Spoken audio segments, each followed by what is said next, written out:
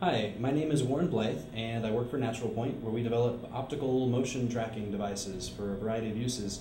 Here, I'm going to give you a run through of what our TrackIR game controller brings to the table and what it means to put your head in the game. The TrackIR sensor sits up on your monitor at about head level, and uh, all it can see is infrared light. So all it sees are these three IR bulbs on my headset. These can mount onto any headset, or if you just don't wear headsets, you can clip three reflectors onto any hat brim, like that. We have patented math that takes these three points and captures true 3D motion with full six degrees of freedom.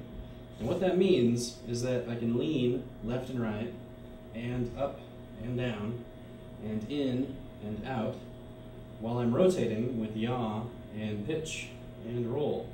So all the ways I can move in 3D space. That's what six degrees of freedom means. As you can see, when I'm moving the view around, it's amplified. So I can see completely behind myself without having to look away from my monitor. And I can adjust this for any of the movements that I'm doing. And this is key. This is called motion scaling. So the point of it is that I don't have to get up out of my chair and do giant crazy motions and get all athletic for the sensor to pick me up. It's precise enough to tap into the tiny little motions that I already perform when I'm playing a game or looking around my monitor. Uh, this is what makes it so intuitive, is that I don't have to think about what key presses to use or how to use my hands to control my eyes. I can just use my head movement to control my eyes. But you'll have to try it to really appreciate it. So, we have special support built into over 70 titles so far, and this is Microsoft's Flight Simulator. It's kind of been our killer app for the last few years. It's easy for me to keep my eyes on different things in the cockpit, and my hands, are, again, are, are running the controls, but I can zoom in and find controls that I may not have been able to see before, and I can click them. Uh, or I can lean up and over my dash and get a better sense of the orientation of my plane, which helps a lot when I'm coming in for a landing. Also, if I'm flying along and a strut is in the way and I want to see what's behind it, I don't have to slowly turn my entire plane to see what's there. I can just lean around the strut. In racing titles like Image Space Incorporated's rFactor, I can look into turns, so as I'm whipping around corners I have a much better sense of how well I'm following the optimal racing line. Plus, as opponents try to sneak past me, I can look over and see how close I'm getting to them without having to switch outside my car to a third person view. In rFactor here, the mirrors are actually rendering in a 3D view based on where my head is at. So again, it's much more immersive.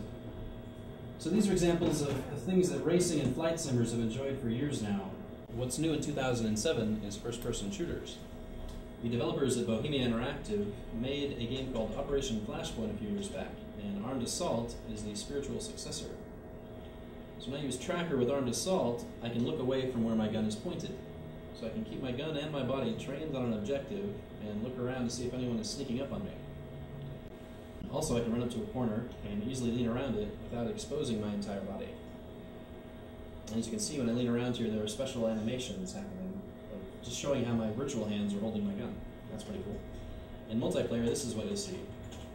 Uh, anyone will be able to see where a tracker user is looking, so we get the benefits of non-verbal communication. My squad leader tells me to go over there, I can just nod at him. I don't have to type anything, I don't have to break radio silence. So that'll be huge to the tactical teamwork crowd.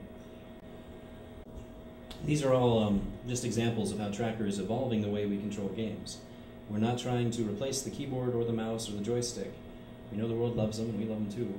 We're just trying to add something new on top of them that brings your head into play. And we're sure to see new cool things as the word spreads, so please spread the word. I should also mention Natural Point is going to have a booth at the Game Developer Conference again this year, where you can check out TrackIR, and you can also see OptiTrack, which is our new motion capture system. It's going to cost less than five grand and should hopefully disrupt the motion capture market a bit.